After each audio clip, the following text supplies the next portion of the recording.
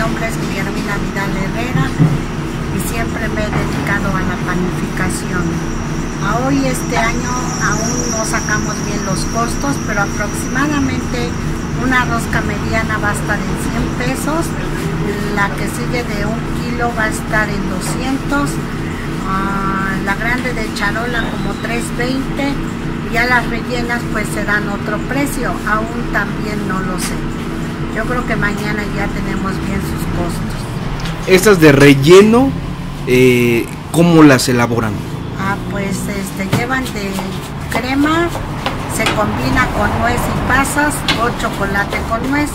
O también hay de queso con zarzamora, pero ya es extra, ya es quien pide nada más.